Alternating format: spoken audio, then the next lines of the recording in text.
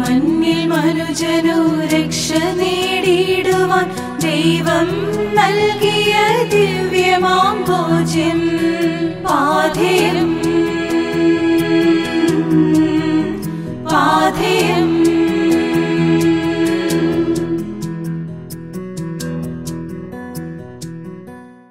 പിതാവിന്റെയും പുത്രന്റെയും പരിശുദ്ധാത്മാവിന്റെയും നാമത്തിൽ ആമീൻ. ഈശോയിൽ ഏറ്റവും സ്നേഹിക്കപ്പെടുന്നവരെ ഈശോ ഇന്നേ ദിനം നമുക്ക് നൽകുന്ന തിരുവചന ഭാഗമാണ്. ഫിലിപ്പിയർക്ക് എഴുതിയ ലേഖനം അതിന്റെ നാലാം അധ്യായം പത്തൊൻപതാം തിരുവചനം. എന്റെ ദൈവം തന്റെ മഹത്വത്തിന്റെ സമ്പന്നതയിൽ നിന്ന് യേശു ക്രിസ്തു വഴി നിങ്ങൾക്ക് ആവശ്യമുള്ളതെല്ലാം നൽകും.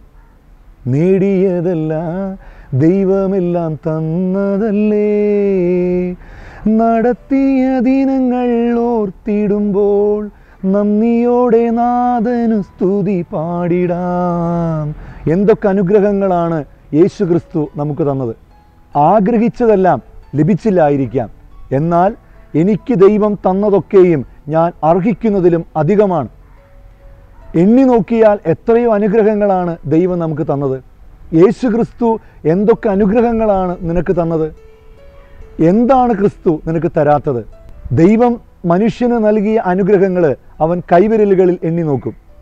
കിട്ടാത്ത അനുഗ്രഹങ്ങൾ കാൽക്കുലേറ്ററിൽ കണക്ക് കൂട്ടി നോക്കി അവൻ ദൈവത്തോട് ചോദിച്ചു വാങ്ങും. ഇതാണ് മനുഷ്യൻ.